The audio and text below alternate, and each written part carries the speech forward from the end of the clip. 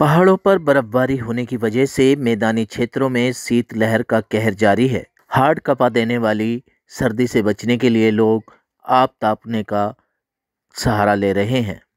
ये नज़ारा है उत्तर प्रदेश जनपद बिजनौर इलाके का, जहाँ क्षेत्रीय लोग शीतलहर वाली सर्दी से बचने के लिए आग जलाकर ठंड से बचने की कोशिश कर रहे हैं। वहीं कोहरे की वजह से भी लोगों का जीवन बेहाल हो रहा है।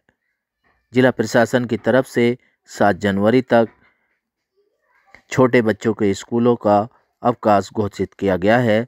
और कक्षा नौ से बारहवीं तक के छात्र छात्राओं का स्कूल का टाइम सुबह दस बजे से दो बजे तक किया गया है। घने कोहरे की वजह से वाहनों की रफ्तार भी थम सी गई है। सिटी न्यूज़, दिल्ली संवाददाता, उत्तर प्रदेश जनपद बिजनौर से राजू फहीम की रिपोर्ट।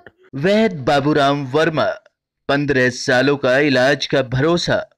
हमारे यहाँ आयुर्वेदिक औषधियों के द्वारा सभी बीमारियों का सुविधाजनक इलाज किया जाता है। जैसे खांसी, सांस, दमा, बुखार, टाइफाइड, मलेरिया, पीलिया, बवासीर, शुगर, हेपेटाइटिस, खूनी बवासीर, पिरमे सरपंदोष लघु संका आदि का इलाज आयुर्वेदिक पद्धति द्वारा किया जाता है। इसके अलावा सभी बीमारियों की जाँच भी तसल्ली बख्श की जाती है, जैसे अल्ट्रासाउंड, एक्सरे। ईसीजी, रक्त, मलमूत्र, वीर्य की जाँच इत्यादि।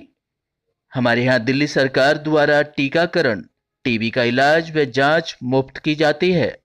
हमारा पता है, वैद बाबूराम वर्मा, चैरिटेबल सोसाइटी, तीन सौ उनतीस, गली नंबर नौ, Mandoli extension, near, Nandnagari bus depot के सामने, दिल्ली तिरानवे आप हमारे नंबरों पर भी संपर्क कर सकते हैं।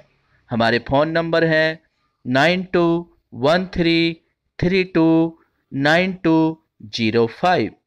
Nine two double one four seven eight three one two. Double nine one zero four one eight three one two. आप हमारे चैनल पर भी दिए गए नंबरों पर भी संपर्क कर सकते हैं।